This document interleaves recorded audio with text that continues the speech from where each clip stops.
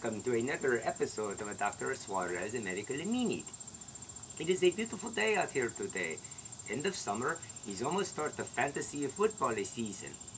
As you can see, uh, last year I was a fortunate enough to win the trophy for our fantasy league, and I was about to carve my team and name, uh, the Weasels, into a trophy. But um, I can do this later. We have business to take care of today. So, it is very nice. So, today we have the email from our friend uh, Jenny in Pennsylvania. Jenny writes, Dr. Suarez, my boyfriend and I were discussing a weekend procedure. He say he may be interested in having this procedure, however, he's a little scared and reluctant to do this. Could you reassure him and describe what exactly is involved? Well, certainly, Jenny. As a matter of fact, we will do more than just describe. We will demonstrate procedure here.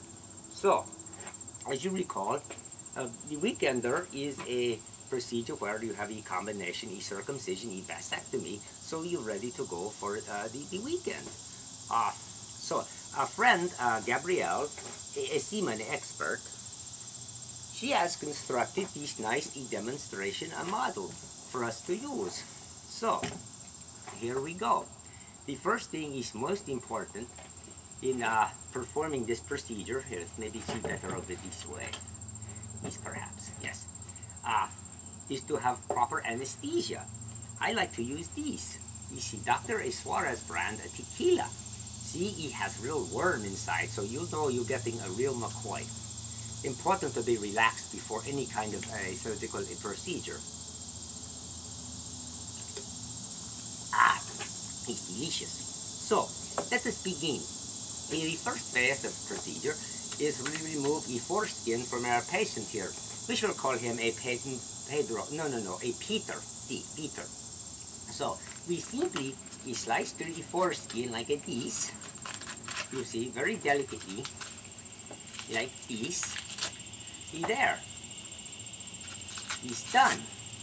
You see, oh, hey, look, hey, Gabrielle make a joke. He's, he's a Top-Flite XL. Very funny, uh, Gabrielle. Okay, so that is done. So now simply to do is the uh, uh, vasectomy portion of this. So we cut a small incision here in a nutsack, uh, no, a, a, a scrotum here like this. Oh my, it's unfortunate.